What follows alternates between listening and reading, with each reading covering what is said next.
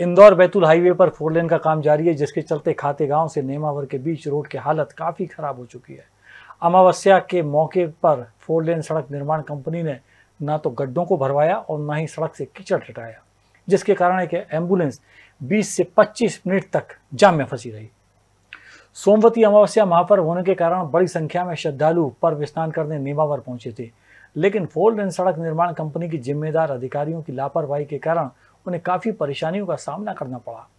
स्थिति ये रही कि संदलपुर से नेमावर के बीच कीचड़ और सड़क पर कई बार जाम की स्थिति बनी। नेमावर बाईपास के पास सर्विस रोड की हालत इतनी नाजुक हो चुकी है कि उसमें कीचड़ और बड़े बड़े गड्ढों के कारण कई वाहन फंस गए और दो पहिया वाहन चालक गिरते पड़ते रहे। वहीं इंदौर से हरदा जा रही एक एंबुलेंस लगभग 15 से 20 मिनट तक जाम में फंसी रही। फोर लेन सड़क निर्माण कंपनी की लापरवाही के चलते पुलिस को जाम खुलवाने में काफ़ी पसीना बहाना पड़ा।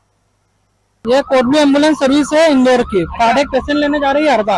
ये निर्माण के कारण जाम लग रहा है सर ये। जिसके कारण एंबुलेंस पंद्रह बीस मिनट तक फंसी हुई है यहाँ पे। ऐसा तो कुछ लग नहीं रहा है। आगे तक जाम लग रहा है काफ़ी। अभी यहाँ की जगह मेरी गाड़ी रिपल गई थी बच गई गिरते गिरते ट्रैफ़िक बहुत हाई चल रहा है। सिंगल पट्टी रोड है। इसलिए जल्दी से जल्दी थोड़ा कागज़ बनवाने की कोशिश करिए। Rabindranath Tagore University, Bhopal, NIRF ranked for five consecutive years.